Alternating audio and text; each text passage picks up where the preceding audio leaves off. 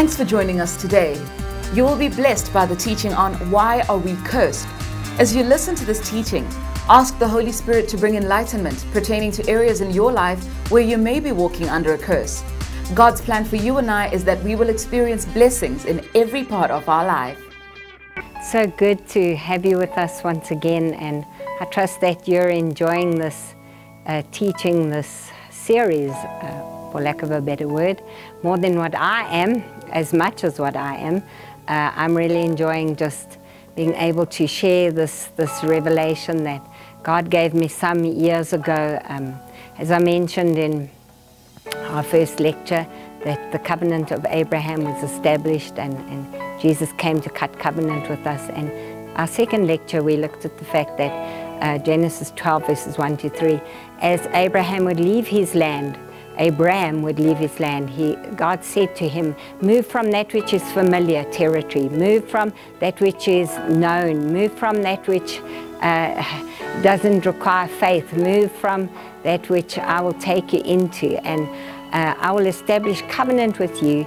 And this covenant would be a generational covenant and so we see how uh, if you study scripture you just have a look at how God established covenant with um, Isaac and, and all the families being you and I in the earth could be blessed. We looked at the principle of blessing and, and how God said to him, I will make of you a great nation. We looked at the uh, just very briefly, the blessing on the nation of Israel. Uh, we looked at the fact that the Jewish man is blessed because of this covenant and, and that it's a generational blessing. And, and do you know that the word bless in the original Hebrew means to bow down to? It's an act of adoration. It's an act of serving. It's an act of, of doing good. And so as the church today, many times we think of just blessing God, but we don't realize in essence how much we are actually walking in the blessing because of the, the nation of Israel, because of what uh, God did for us uh, through His chosen, what God has done for us through Jesus, our Jewish Messiah, coming and, and establishing covenant with us. And so there's certain things about Genesis chapter 12 that I just want to uh, continue to look at today and, and look at the fact that uh, what does the word curse mean? Um, I, I, remember as a young uh, girl, I was raised in a very anti-Semitic home. I, I was taught that uh, Jews are dirty people. I was taught that uh, we, we shouldn't build relationship with Jewish people. And so this spirit uh, remained and, and continued to influence my life. And then as a, a, a, I would say when I went uh, established, became established in ministry, um, obviously uh, in many uh, quarters of the, the Christian church today, sometimes ministers uh, can be financially poor. Um, many of our believers, our brethren today, don't have that um, benefit, that financial benefit. Many even uh, fail to pay tithes. Many even fail to, to give because many are living on the breadline. And I remember as a young girl uh, stepping out into ministry and I had nobody to support me. And one day God spoke to me from Genesis chapter 12 verses 1 to 3 and he said to me, in my very uh, innocent and my very naive state, he said, if you will begin to bless a Jewish person, I will bless you.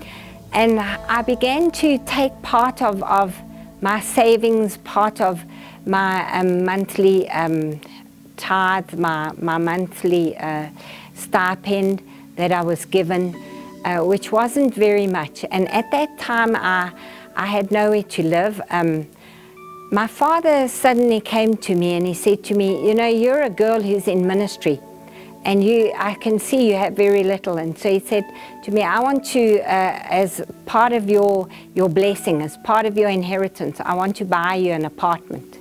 And so he put me in this apartment, which was a place for me to live. I had no transport, I had no furniture.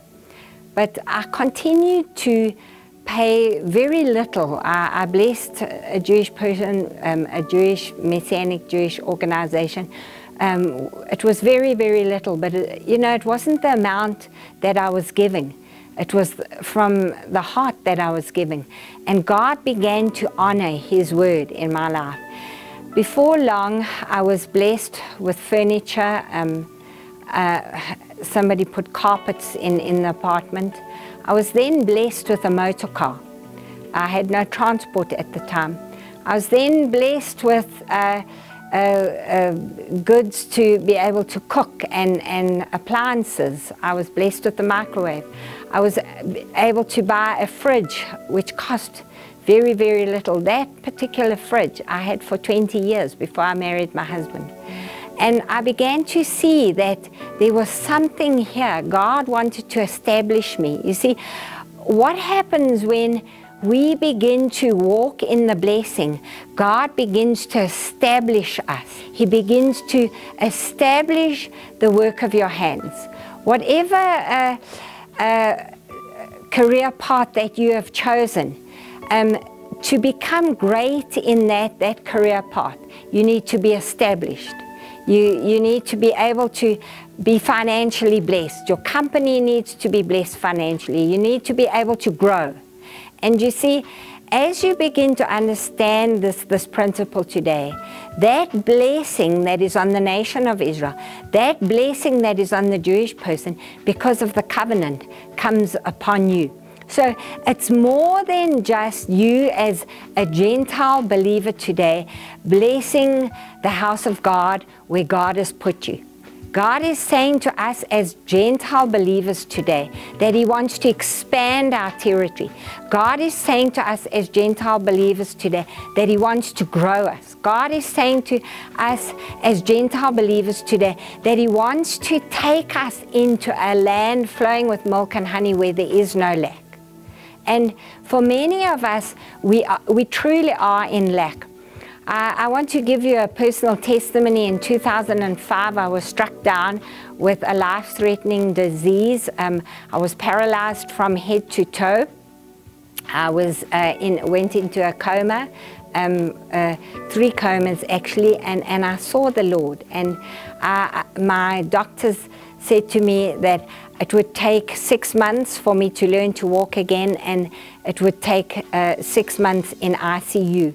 And being, a, a, I was still single at the time, being a, a, a traveling preacher, uh, I, I, wasn't able to afford a, medical aid. It wasn't one of my priorities. I, I needed to establish the ministry. Uh, God blessed me by putting me on various television channels throughout the world and, and he really began to elevate my name. But medically, it wasn't a priority for me and God was beginning to elevate the ministry and suddenly I was struck down with this disease. It, the, I had no medical aid and the doctors uh, said to my family, um, you know, it will, it will cost you in the region of 700 to over 1.2 million for these medical expenses. If you are to be put in a first world um, hospital, continue with first world treatment, etc. And so uh, basically uh, I had to choose between that or choose between dying. And I knew that God still had a plan for my life. I, I, knew that He still wanted to use me. He'd promised me certain things, that He was going to use me around the earth. And I'd continue to observe this principle of blessing the Jewish believer, a messianic uh, believer. And my family got together and, and, obviously they panicked. They said, where, where will the money come from? We will have to sell our house. We will have to sell all the, the, the material goods that God has blessed you with. And so um, I, I, lay in that hospital bed. I couldn't fight. Uh, it was, there was tremendous darkness around me. But the day came when a Messianic Jewish friend of mine, uh, her husband being an enlightened Jew, uh, he said to her, you know, we need to do something for Janet. We, we need, she's a woman who has traveled the nations and she has a gift to the body of Christ. And so uh, he met with um, my family and he said to uh, them, I want to offer that we will pay three quarters of, of her medical bills. Well, I want to tell you today that I walked out of that hospital um, within nine weeks. I was walking again. Um, my, my doctor said to me, and obviously I, I get a bit emotional, but my doctors had said, you will never walk again for many years. Within nine weeks of being admitted to um, ICU and going off to rehab, I walked out of that hospital. Um, I had no crutches. I was breathing normally. I was obviously on life support in ICU. I was able to drive my car with um, being um, uh, released and uh, discharged from hospital. I was able to drive my car within a week. Uh, I had no medical bills. My, I, I had my house. Um, I had all my, my uh, goods which the Lord had blessed me with. And I was totally free.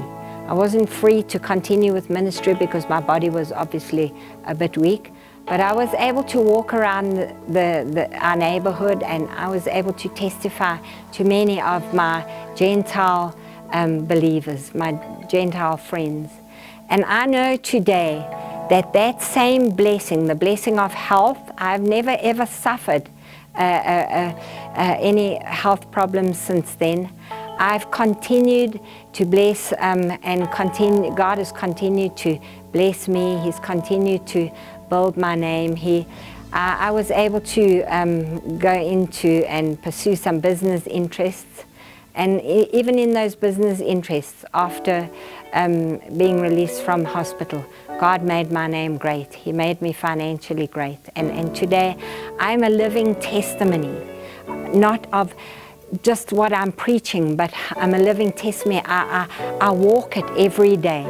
And this is, I believe, as a prophet of God today, I want to say to the Gentile church that this is a, a, secret for the end time church.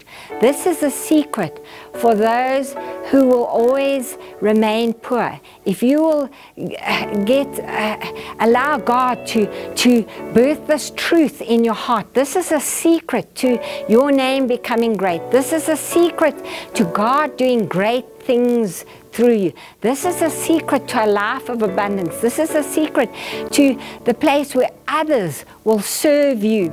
Because if you think of the fact that in our Jewish Messiah today, our name can become great.